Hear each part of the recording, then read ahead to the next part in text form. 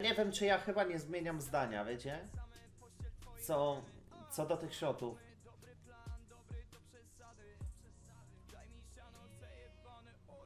I Samu miał rację. I Samu miał rację co do shotów. To jest... To jest coś, co szkodzi youtuberowi, bo nie każdy ogląda streama, przychodzi wieczorem i ogląda shota.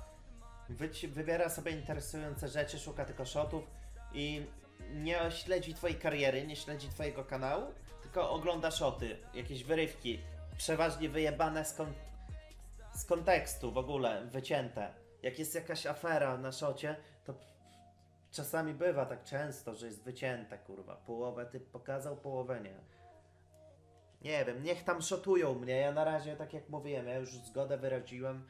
Pisali do mnie ci szoterzy na maila, niech tam szotują.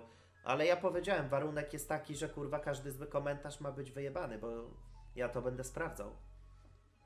I automatycznie do takiej osoby piszę, że nie możesz mnie gościu szotować, bo nie usuwasz komentarzy złych.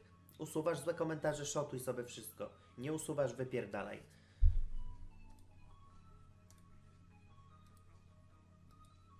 I o tytułach. Mają być normalne tytuły.